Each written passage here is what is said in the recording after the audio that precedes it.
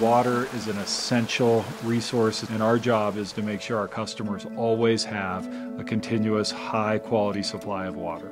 And Gross Reservoir Expansion Project will make sure that happens every day. 90% of our supply comes from the south part of the system. This will bring us from 10% to 20%. So we're moving in a direction that gives us some balance and resiliency to deal with climate change, to deal with drought, to deal with catastrophic weather events. Gross Reservoir Expansion really entails tripling the size of Gross Reservoir. When we're done, Gross Dam will be the 13th tallest concrete dam in the country and the tallest dam in Colorado.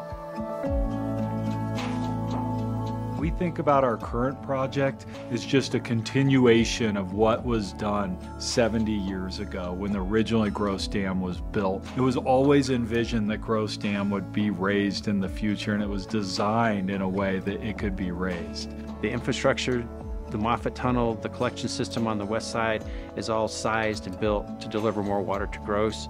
South Boulder Canal, Ralston, and the treatment plants and the distribution system is all meant to handle a larger flow.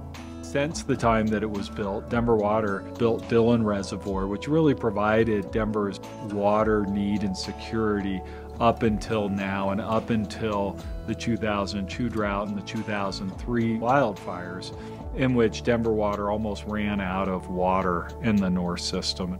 We really knew that we needed to capitalize on what our predecessors did at Gross and expand Gross Reservoir to its fullest capacity so we can have more water where we need it. So we started the environmental review process in 2003 and 4. In 2009, the draft EIS came out. Then in 2011, we did the Fish and Wildlife Mitigation Plan, Fish and Wildlife Enhancement Plan. In 2014, the final EIS was released. 2013, Colorado River Cooperative Agreement, where we brought East and West Slope closer together. The Colorado River Cooperative Agreement really set the framework for how Denver Water was going to engage with communities impacted on both sides of the Continental Divide. The idea being, let's try to find win win opportunities. Let's do the project in a way that not only meets Denver Water's needs for future water supply, but also benefits local communities and the local aquatic environment. In 2016, we had the settlement agreement with the U.S. Forest Service. In 2017, we had the record of decision.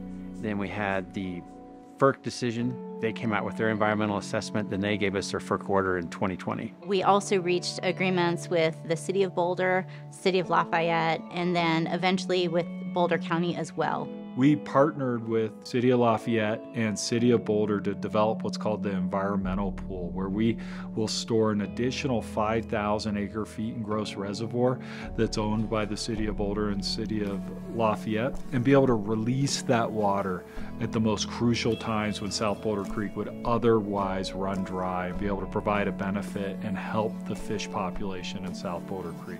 So we started construction in April of 2022, and that was a big milestone for Denver Water and moving this project forward.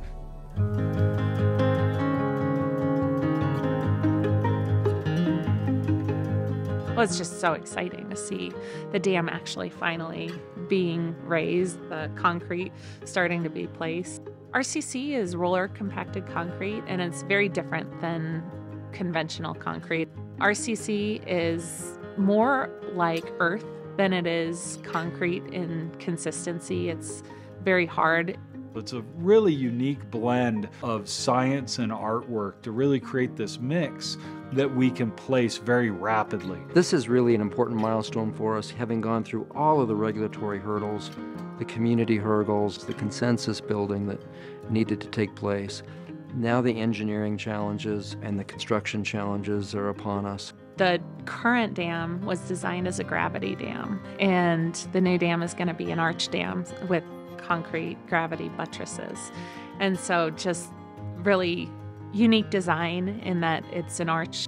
It's an amazing engineering feat to go from a concrete gravity dam to a concrete arch dam, which architects and dam builders will tell you is a pretty uh, monumental undertaking. We're going to raise the dam over 312 feet in one season, then we're going to come back and finish the rest up to 471 feet tall the second season. This year and next year, we'll be placing all that concrete, and then in 26 start the process of removing all the construction equipment and revegetation and rehabilitation of all the impacts on the surface area that won't be underwater. It's incredible to be a part of the history, to take what's been done before and continue that and to provide water for generations to come. I'm most proud of the way that we've approached the project.